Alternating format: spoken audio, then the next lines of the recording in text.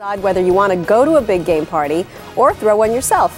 Here with a list of do's and don'ts for guests and hosts is Norman King, assistant editor of Southern Living magazine. Good morning, Norman. Good morning. How are you? I love I love what you're wearing. Oh, very, thank very you. cute. You're, And you're you in the our mood. theme? You love our theme? I love it. Okay, well, one of the things that that you need to do when you're throwing any great Super Bowl party, there are a couple do's and don'ts that you want Right. to go ahead and have established. The first thing that you want to do is go ahead and check out your TV situation. Make sure that it's on the right channel, that you have the proper audio cables hooked up, and that you're going to have uh, basically a tech-free problem. Uh, You better get that straightened out. Right. The next thing that you want to do is program your DVR, Mm-hmm. and that means uh, that that's just great setting that up, and that way you can watch any of those you know great highlights, or you can catch the uh, commercials that you love. As Oh, well. that's good. All right. So afterwards, you say that you should also clear out some furniture from your living room Correct. and move things that could break. That right. makes sense. That's one thing. One thing that you don't want to do is have an accident at your party. So because it's everybody's going to go.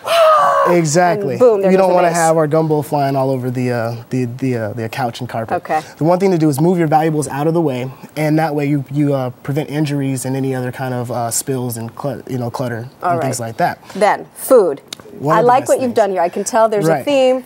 You got a little New Orleans thing and a little bit of Indianapolis That's going right. as well. We wanted to bring it together and uh, promote unity because the competition is on the screen, not in your living room. so what we did is we added uh, a little bit of Southern style because the because the New Orleans Saints are playing.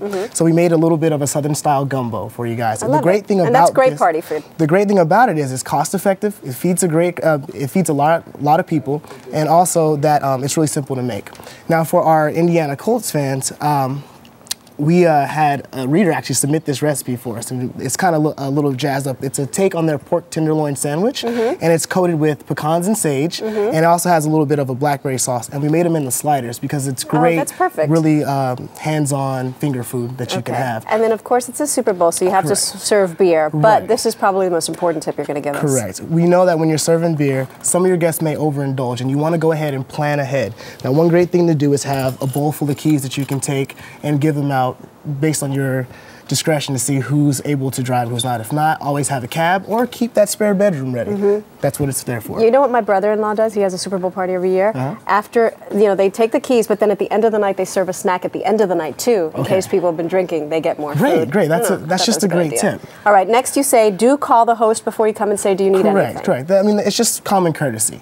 Uh, one thing to do is see if you can bring bring some beer, wine, some extra napkins. Don't bring too much, but just kind of offer your help. Now, one thing that you don't want to do, Okay. that is, then this goes mainly for men. Okay. Do not touch the remote. There's nothing worse than you're being course. fourth quarter. Who's gonna touch the goal remote? line? I'll be two minutes to go. We hit the remote, and now we're watching CSI Miami. That's just Hey, something but, that we don't want to do. but that's why you TiVoed it. yeah, so that's you're true. okay. That's true. But we don't. You don't want to cause a big uproar and things like that. All right, Norman. Thank you very much.